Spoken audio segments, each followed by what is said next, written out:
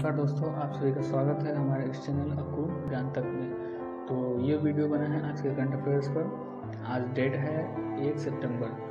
तो चलिए देखते हैं आज के डेट में कि कौन से टेन मोस्ट इम्पोर्टेंट जीके के और करंट अफेयर्स के क्वेश्चन बनते हैं। तो पहला क्वेश्चन जो है हमारा, कि किस राज्य सॉरी किस राज्य सरकार ने मेजर ध्यानचंद विजय पथ योजना की शुरुआत की है? तो ऑप्शन क्या है हमारे? ऑप्शन है राजस्थान, मध्य प्रदेश, उत्तर प्रदेश और गुजरात। तो इसका आंसर जो है वो उत्तर प्रदेश। ये योजना है किस लिए? तो ये योजना है जो राष्ट्रीय और अंतर्राष्ट्रीय खिलाड़ी हैं, उनके घर तक पक्की सड़क योजना, पक्की सड़क बनवाई जाएगी इस योजना के तहत। ठीक है? तो बात आती है उत्तर प्रदेश की। तो उत्तर प्रदेश की राजधानी क्या है? मुख्यमंत्री कौन है भी योगी आदित्यनाथ। उत्तर प्रदेश का गवर्नर कौन है?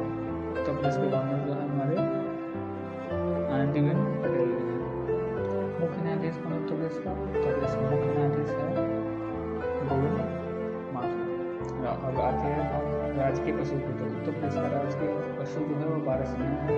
कई कई एग्ज़ाम्स में पूछते हैं इसको तो इसलिए बताता हूँ आपको। राष्ट्रीय सॉरी राजकीय पक्षी कौन से हैं? सारस, राजकीय फूल, पलाश है और राजकीय वृक्ष अशोक का है। अब बात आती है लोकसभा सीटों की संख्या कितनी है? उत्तर प्रदेश में तो लोकसभा सीट है हमारे अस्सी राज्यसभा सीट कितने हैं? वो इकतीस है और विधानसभा सीट की संख्या कितनी है? चार सौ चार। ठीक है। अब बात आती है कि पूछते नहीं है कि उत्तर प्रदेश से सट्टा हुआ राज्य जो जुड़े राज्य कौन कौन से हैं? जो उत्तर प्रदेश के पड़ोसी राज्य हैं। तो उत्तर प्रदेश से आठ राज्य ऐसे हैं जो जुड़े हुए हैं। जिसमें से आपको उत्तराखंड, हिमाचल प्रदेश, हरियाणा, राजस्थान, मध्य प्रदेश, छत्तीसगढ़, झारखंड और बिहार है। दिल्ली भी है, लेकिन दिल्ली क्या है? केंद्र शासित प्रदेश है, ठीक है? तो बढ़ते हैं अगले प्रश्न की तरफ़। तो अगला प्रश्न है अंतर्राष्ट्रीय लघु उद्योग दिवस कब मनाया जाता है? तो ऑप्शन देख लेते हैं। ऑप्शन है आपको? सत्ताईस अगस्त, अट्ठाईस अगस्त, उनतीस अगस्त और तीस अगस्त। तो इसका आंसर है तीस अगस्त, ठीक है? तो इसके इम्पोर्टेंट पॉइंट्स क्या हैं। इसका उद्देश्य है जो लघु उद्योग होते हैं उनको बढ़ावा देना तथा इसके माध्यम से लोगों को रोज़गार उपलब्ध करवाना। अगस्त में इम्पोर्टेंट कौन कौन से हैं, वो देखते हैं तीन अगस्त को, तीन अगस्त को विश्व संस्कृत दिवस मनाया जाता है। पंद्रह अगस्त को आप सभी पता है, स्वतंत्रता दिवस स्वतंत्रता दिवस। उन्नीस अगस्त को विश्व मानवता दिवस मनाया जाता है। बीस को सद्भावना दिवस, जो कि राजीव गांधी जी का जन्मदिन है। छब्बीस अगस्त को महिला दिवस। महिला समानता दिवस मनाया जाता है और उनतीस को राष्ट्रीय खेल दिवस मनाया जाता है। ठीक है तो चलिए पढ़ते हैं अगले अगले प्रश्न की तरफ़। तो अगला प्रश्न है कि भारत और किन देश के बीच चौदहवीं रक्षा नीति वार्ता यानी वीडियो कॉन्फ्रेंसिंग आयोजित हुई है? ठीक है तो ऑप्शन क्या है हमारे? अमेरिका, सिंगापुर, फ्रांस और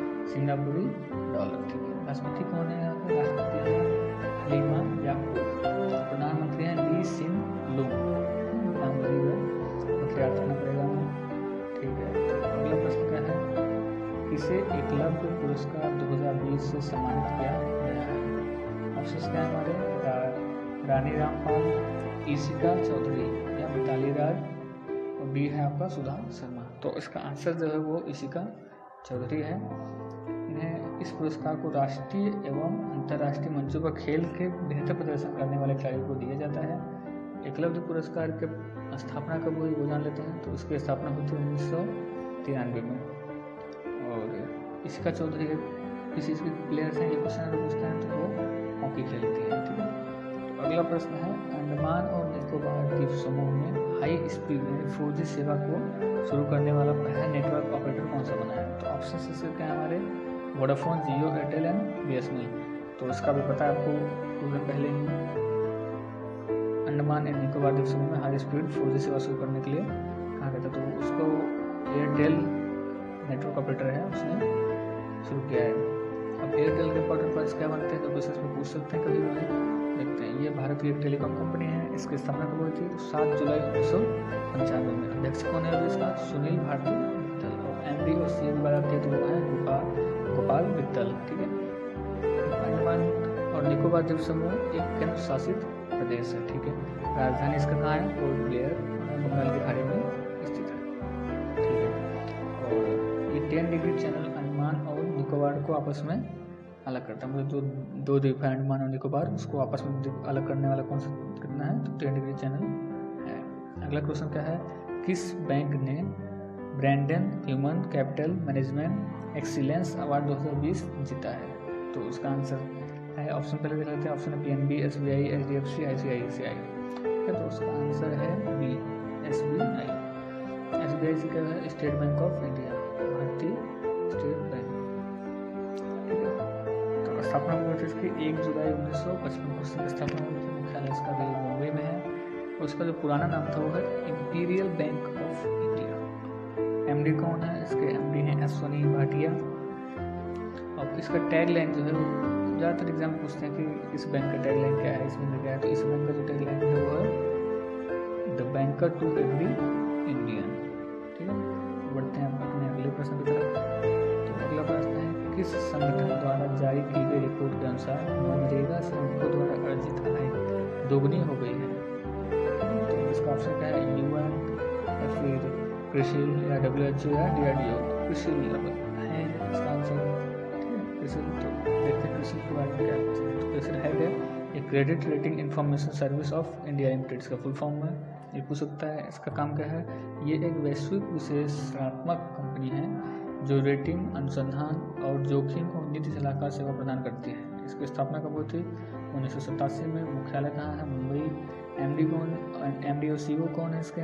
वो है आँसू सुयस ठीक है अगला प्रश्न क्या है? आसियान भारत व्यापार परिषद की बैठक में भारत का प्रतिनिधित्व किसने किया है? तो हमारे ये ऑप्शन देख लेते है। रमेश पोखरियाल है, प्रकाश जावड़ेकर, जो कि सूचना एवं प्रसारण मंत्री हैं। पीयूष गोयल, जो रेल मंत्री हैं। राजनाथ सिंह, जो रक्षा मंत्री तो इसका आंसर जो है वो है सी पीयूष गोयल।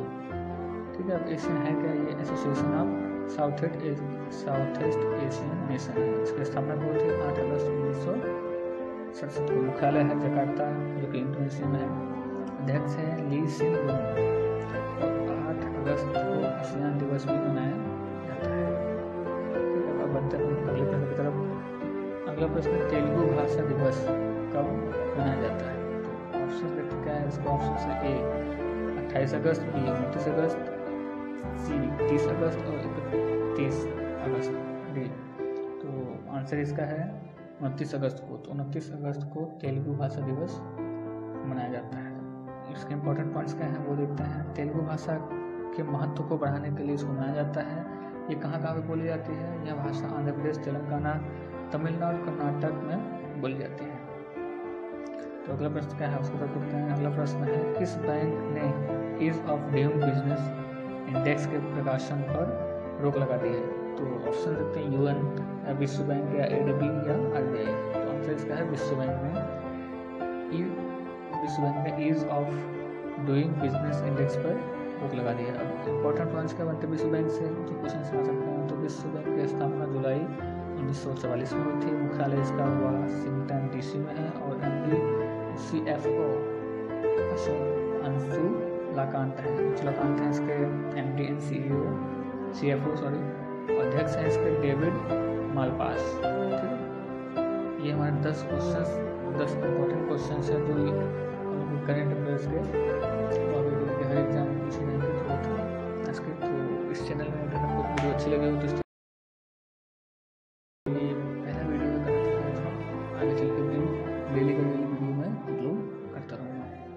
चलिए, इस चैनल को सब्सक्राइब कर लें, अपने फ्रेंड्स को शेयर कर लें जो गवर्नमेंट जॉब की तैयारी कर रहे हैं, या फिर गवर्नमेंट जॉब की सोच रहे हैं। क्योंकि करंट अफेयर्स जनरल नॉलेज ये सब ऐसी चीज़ें हैं जो हर एग्ज़ाम में पूछे जाते हैं। आगे एप्टीट्यूड रीजनिंग